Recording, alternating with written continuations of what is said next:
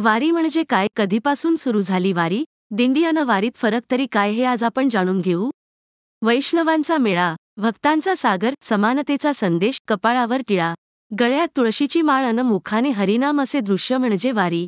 महाराष्ट्राची सांस्कृतिक परंपरा म्हणजे वारी. महाराष्ट्राची ओळख म्हणजे वारी. महाराष्ट्राचे वैभव म्हणजे वारी. संतांची शिकवण म्हणजे वारी. ईश्वरी प्रेमाची विलक्षण अनुभूती घेण्याची संधी म्हणजे वारी. विशिष्ट तिथीला आपल्या इष्टदेवताकडे जाणे म्हणजे वारी. घरून निघायचे एखाद्या संताच्या गावी जायचे आणि त्या ठिकाणावरून निघणाऱ्या दिंडीसोबत पंढरपूरला जाणे म्हणजे वारी. पंढरपूरला जाऊन विठ्ठुरायाचे दर्शन याची देही याची डोळा घेणे म्हणजे वारी. अठरा ते वीस दिवस सर्व संसारिक वैभव सुख सोडून फक्त ईश्वराच्या धान्यात राहणारे वारकरी लाखोंच्या संख्येने महाराष्ट्रात आहे. ही वारी कधी चुकायची नाही असे म्हणणारे वैष्णव महाराष्ट्राच्या कानाकोपर्यात आहेत. काय आहे ही वारी? कधी अन कशी सुरू झाली वारीची परंपरा? वारी आणि दिंडीमधील फरक काय? राज्यभरातून किती दिंड्या निघतात? जाणून घेऊ या सर्व माहिती या महाराष्ट्रातील अनोख्या परंपरेची.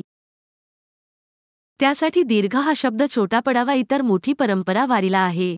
भागवत धर्माचा प्रचार करण्यासाठी वारी सुरू झाली. हे विश्वच माझे घर हा संदेश देण्यासाठी वारी सुरू झाली.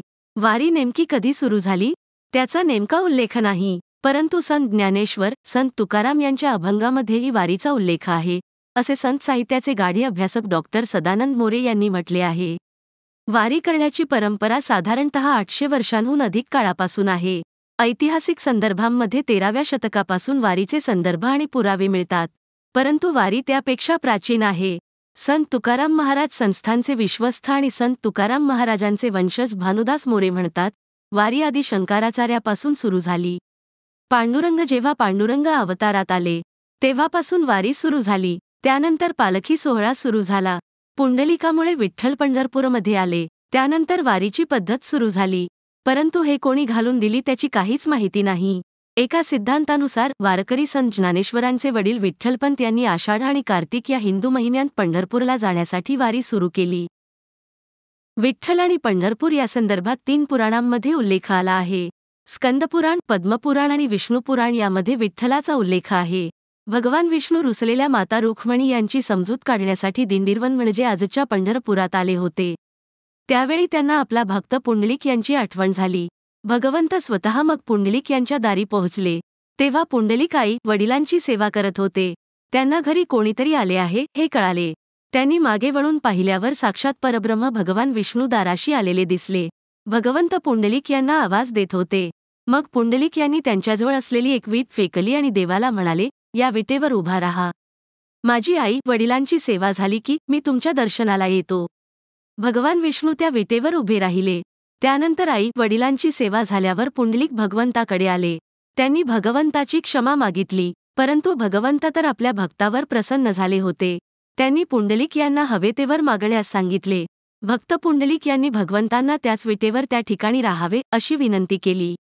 मग भगवंत विटेवर पांडुरंग बनून विठ्ठल बनून उभे राहिले. त्याच पंढरपुरात विठ्ठलाचे दर्शन घेण्यासाठी वारीच्या माध्यमातून आषाढी आणि कार्तिकी वारीला लाखो भक्त राज्यभरातून जातात. महाराष्ट्राची व्याख्या करताना वारीला आणि संतांना वगळून व्याख्या करता येणार नाही. वारी ही खूप जुनी परंपरा आहे. परंतु पालखी ही वारीसारखी जुनी परंपरा नाही. पालख्या संताच्या पादुका घेऊन पंढरपूरला जातात. सोळाशे पंच्याऐंशी मध्ये तुकाराम महाराजांचे तिसरे चिरंजीव नारायण महाराज यांनी प्रथम पालखी सोहळा सुरू केला. जगदगुरु नारायण महाराज यांनी सुरू केलेला पालखी सोहळा म्हणजे वारीचा टर्निंग पॉइंट म्हणता येईल. त्यांनी वेगवेगळ्या गावावरून जाणाऱ्या सर्व दिंड्या एकत्र केल्या आणि तुकाराम महाराजांच्या पादुका घेतल्या. तसेच ज्ञानेश्वर महाराजांच्याही पादुका घेतल्या. त्या दोन्ही पादुका घेऊन पालखी पंढरपूरकडे निघाली. त्यावेळी तुकाराम महाराज आणि ज्ञानेश्वर महाराजांच्या पादुका गळ्यात घालून नेल्या जात होत्या. दोन्ही पादुका एकाच पालखीत जाऊ लागल्या. त्यामुळेच ज्ञानोबा तुकोबा हे भजन सुरू झाले. सोळाशे पंच्याऐंशी पासून एकशे सत्तेचाळीस वर्ष या पद्धतीने पंढरपूरला पालखी जात होती. त्यानंतर अठराशे बत्तीसमध्ये दोन्ही पालखी सोहळे विभक्त झाले. संत ज्ञानेश्वर महाराज आणि संत तुकाराम महाराज या दोन्ही पादुका वेगवेगळ्या पालखीतून वेगवेगळ्या मार्गाने जाऊ लागल्या. आषाढी वारीला महाराष्ट्राच्या कानाकोपऱ्यातून शेकडो संतांच्या सत्पुरुषांच्या पालख्या आता पंढरीस येतात. आता आपण पाहणार आहोत महाराष्ट्रातून निघणाऱ्या महत्त्वाच्या पालख्या कोणत्या आणि किती ते पहा. राज्यभरातून दोनशे ते दोनशे पन्नास पालख्या पंढरपूरला जातात. अनेक पालख्यांना संतांची नावे आहेत. पालख्यांसोबत चार ते पाच लाख वारकरी पायी पंढरपूरला जातात. एक संत निवृत्तीनाथांचा पालखी सोहळा. संत ज्ञानेश्वर यांचे मोठे बंधू संत निवृत्तीनाथ. ते ज्ञानेश्वर महाराजांचे गुरु आहेत. त्यांनी नाशिकमधील त्र्यंबकेश्वर येथे समाधी घेतली. त्यांच्या समाधी मंदिरातून पालखी निघते. दोन संत सोपनकाका पालखी सोहळा. संत ज्ञानेश्वर यांचे लहान बंधू सोपानदेव यांनी सासवड जिल्हा पुणे येथे समाधी घेतली होती. त्यांच्या नावाने सासवड येथील समाधी मंदिरातून पालखी निघते.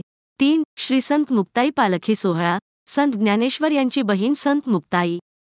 जळगाव जिल्ह्यातील कोथळी तालुका मुक्ताईनगर हे त्यांचे समाधीस्थळ. त्या ठिकाणावरून संत मुक्ताई यांची पालखी निघते. या पालखीतील वारकरी तब्बल पाचशे साठ किलोमीटरचा पायी प्रवास करतात. त्यासाठी त्यांना तेहत्तीस दिवस लागतात.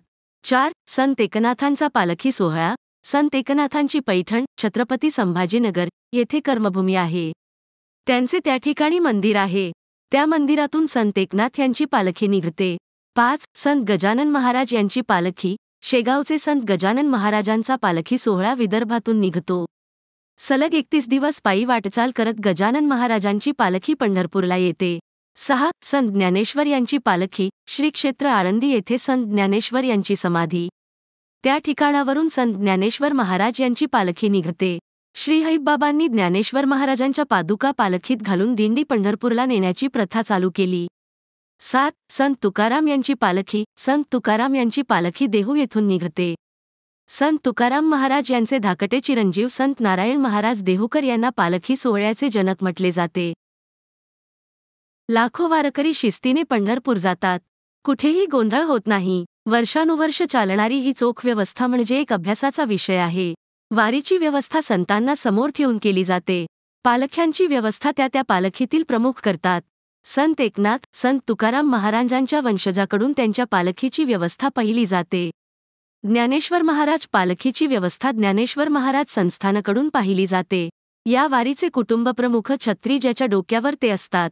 म्हणजे संत ज्ञानेश्वर महाराज यांच्या पालखीत संत ज्ञानेश्वर महाराज यांच्या डोक्यावर छत्र असते. तेच प्रमुख असतात. तसेच वीणा ज्याच्या गळ्यात असते ते विणेकरी भजनाचे नेतृत्व करतात. वारीसंदर्भात शासनाशी चर्चा करण्यासाठी विविध पदे तयार केली गेली आहे. ते शासनाच्या संपर्कात असतात. वारीत आलेल्या शेकडो दिंड्यांचे व्यवस्थापन त्या दिंडीच्या प्रमुखांकडून केले जाते. वारीत लाखो लोक शिस्तीने चालत असतात. त्यासाठी वारकऱ्यांची पाच पाचची रांगा असते. वारकरी कधी दिंडी ओलांडत नाही. ते पताकाच्या समोरून जातात. अगदी शिस्तीने भजन करत नृत्य करत त्यांची वाटचाल पंढरपूरच्या दिशेने होते. त्यांच्या जेवणाच्या वेळा बसण्याच्या वेळा तंबू लावण्याचा वेळा ठरलेल्या असतात. वारीत निघाल्यावर वीस ते पंचवीस दिवस व्यक्ती घरी येत नाही. त्यामुळे त्यांच्या घरच्या मंडळींना काही निरोप द्यायचा असेल तर एक चांगली प्रथा होती. आता प्रत्येकाजवळ मोबाईल असल्यामुळे ती प्रथा मोडीत निघाली. पण पूर्वी कोणाचा काही निरोप आल्यावर त्या व्यक्तीचे नाव आणि दिंडी नंबर टाकला जात होतो. तो निरोपाचा कागद पोद्दाराकडे दिला जात होता. पोद्दार तो निरोप दिंडी प्रमुखाकडे घेऊन जात होता. दिंडी प्रमुख त्या व्यक्तीपर्यंत निरोप पोहोचवत होता.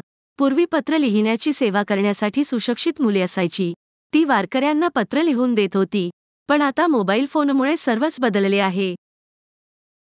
वारीत पुरुष महिला असा कधी भेद नाही. महिलांना मानाचे स्थान आहे. वारकरी संप्रदायात नामदेव महाराज यांच्यानंतर जनाबाई यांनी फळप्रमुख म्हणून काम केले.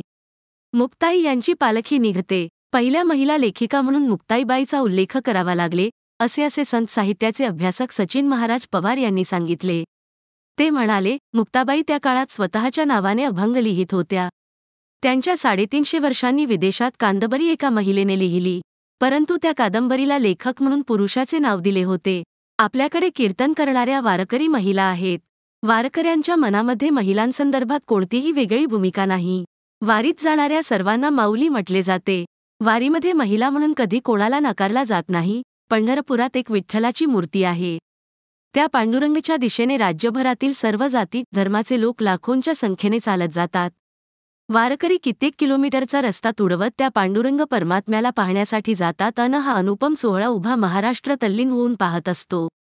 वारीमुळे द्वेष अहंकार बाजूला सरला जात आहे. अंतकरण शुद्ध होते. वारीचा हा सुंदर सोहळा महाराष्ट्राशिवाय जगात कुठेच नाही. म्हणून जन्माला आलेल्या व्यक्तीने वारी करायलाच हवी. आमची माहिती कशी वाटली आम्हाला जरूर कळवा आणि या व्हिडिओला लाईक व सबस्क्राईब जरूर करा.